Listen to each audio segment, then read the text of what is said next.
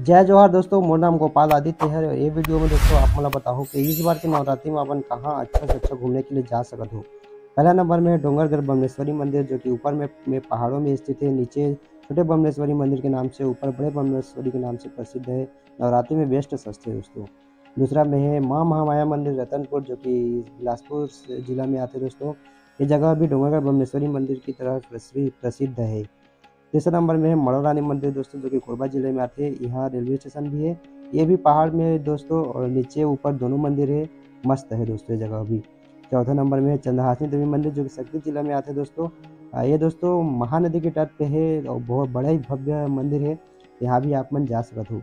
पाँचवें नंबर में है सर्वमंगला मंदिर, जो कि कोरबा जिला में सिटी के अंदर है दोस्तों। ये भी नदी के किनारे ही है। छठा नंबर में है पहाड़ी मुंगई माता मंदिर। दोस्तों ये भी डूंगरगढ़ मंदिर की तरह ही है पहाड़ पे है। सातवां नंबर में है चंडी माता मंदिर जो कि जहाँ भालू आते दोस्तों बाग बहरा में इधर सब जन जाना था दोस्तों ये वीडियो में सिर्फ़ मैं हाँ, ही मंदिर ले हूँ। काफ़ी वीडियो ज़्यादा लंबा करूँ तो आप मंदिर देखो। और दोस्तों और भी मंदिर है जो मतलब आप मतलब देखना है तो नीचे पार्ट टू ज़रूर लिखो। आप मन की डिमांड रही तभी मैं पार्ट टू बना हूँ। और दोस्तों, का पता जो मंदिर पार्ट टू में हो ही वो मंदिर अपन के घर से नज़दीक हो ही तो पार्ट टू देखे मैं नीचे कमेंट ज़रूर करूँ दोस्तों। और अपन ये कमेंट रही तभी मैं पार्ट टू बनाऊँ। चलो मिलथन फिर नवा वीडियो में। जय जवाहर, जय छत्तीसगढ़।